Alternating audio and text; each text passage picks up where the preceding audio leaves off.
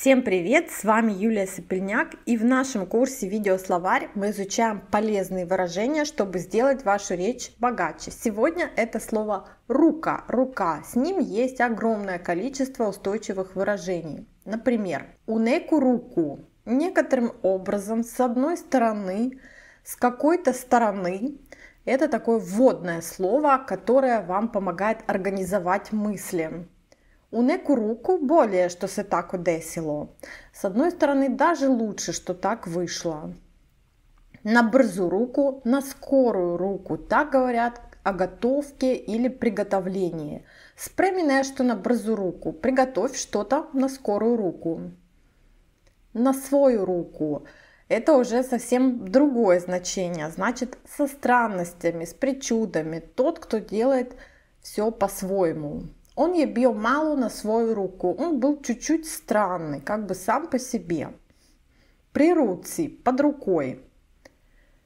Нека вам увек при руці буду броєві телефона приятеля. Пусть у вас всегда под рукой будут номера телефонов друзей. Выражение с глаголами и словом рука. Имати пуне руки посла.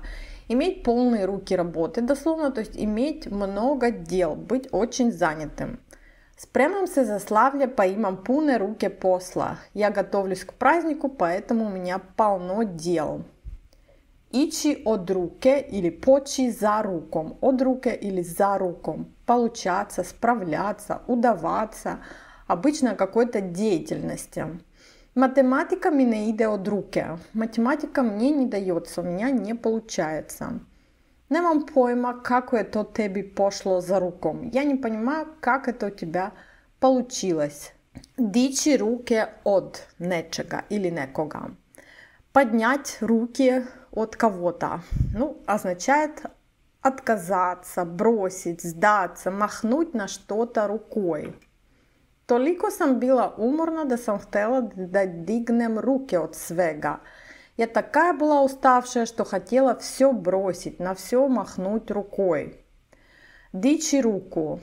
Поднять руку, ну, дословно, просто поднять руку, также в переносном смысле ударить, ну или даже убить. Како си се осудио да дигнеш руку на мене? Как ты посмел поднять руку на меня? Ставьте лайк, если урок был вам полезен, подписывайтесь на мой канал и соцсети и до встречи в следующем уроке.